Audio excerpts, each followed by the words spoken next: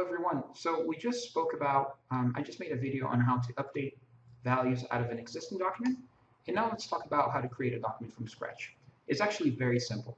Um, you will declare the uh, document and then you're going to um, create a new XML document.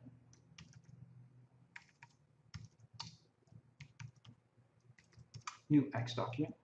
And as you know, uh, an XML document is structured such that the first line is the declaration, and then you can have comments, um, and then you have the root, and then you have the the children, right?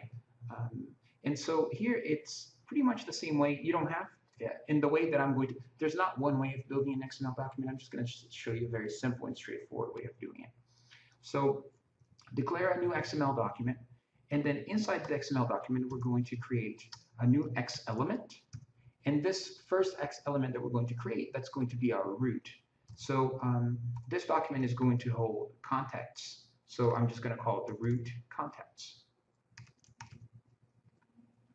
And inside my contexts, I'm going to have um, I'm going to have uh, people, right?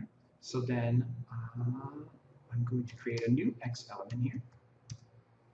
And this X element is going to be called a person. Okay. And now a person has properties. So now let's go ahead and start adding those properties. So I'm going to say new X element. And then uh, this one is going to be, let's say, let's say a contact ID. Let's just call it ID. And then I'm going to assign a value to 1. And now I'm just going to copy and paste here and create the next item. So let's say first name. Let's say Fabio. And then say last name.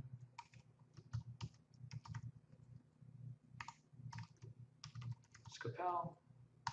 And then age. 33. Okay. So now I have created a person that is inside a context and then that context inside of a document. Now I have to close my parentheses, right? So this parenthesis, it, you can see closes this X element. The next one goes all the way to the person.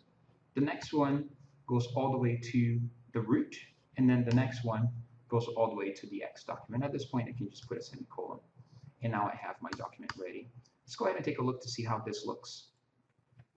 I'm going to press F11 here. And now if I look at the doc and I look into the text visualizer, you can see that it, it put it put all the closing brackets for us. So I declared the contact, but it automatically put the closing bracket for us bracket for us there. Um, a person, person, and then you have the properties ID, first name, last name, and age, as I declared in there. Um, the next step, it's a pretty simple one, which is simply saving that file, that sa saving that file to disk. And when you save, the declaration is actually going to show up in there. So say doc.save, and I'm going to call this document contacts.xml.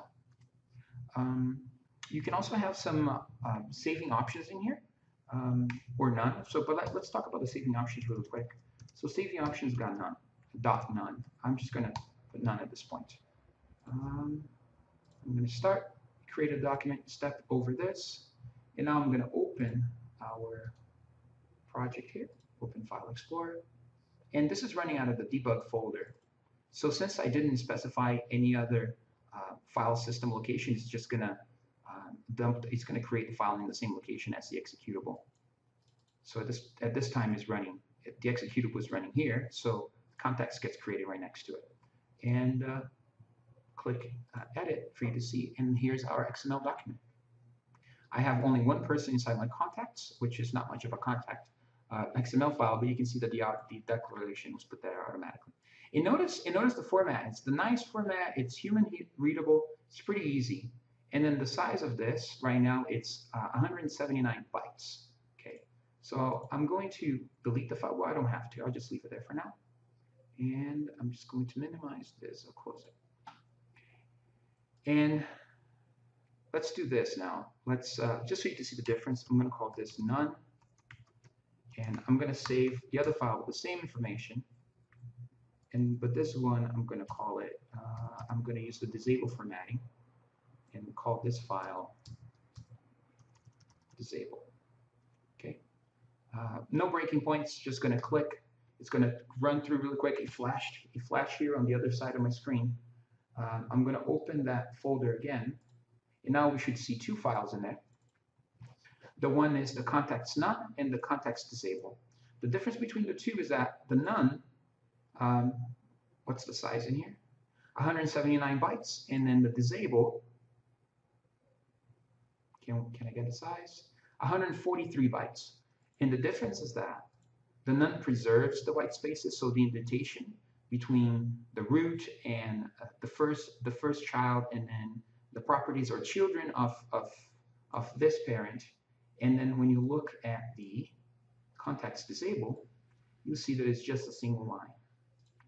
The whole thing, it, this is this is still a valid XML, it's still a valid XML file. The difference is that you removed all the, the, the white spaces, so then if you're going to transport the file, uh, to another location it's even smaller. Okay, but uh, let's look at how to um, let's look at how to add some additional uh, values in here. First thing I'm going to do is remove all of this brackets. I'm going to leave the closing one. And so if you want to add more more people to this XML file, I mean, it's kind of, you know, copy and paste. Uh, day here. And then now on the last one, that's when you're going to close uh, the parentheses. So close, close, and then now I can create more values in here. This is not ideal. You know, no one will be doing this by hand, but I just want to show you how you're able to do this. And maybe in one of your projects, uh, you will have to do something similar to it. Um, and let's change the age here, set 35, set 24. And let's run this one more time. Okay, it just flashed on the other screen here again. I'm going to open contacts. And you can see that all of our data is there. Um, all my contacts are in here.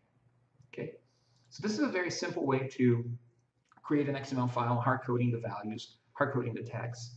Now, this is not ideal. What is ideal is uh, when you have a collection of objects and then you can explode that collection into an XML file. And that's what we're doing on the next video because that's more real world, um, uh, that's more of a real world, world scenario that you find. Okay, so stay tuned, watch the next video, subscribe, and please like the video. Okay, see you soon. Bye.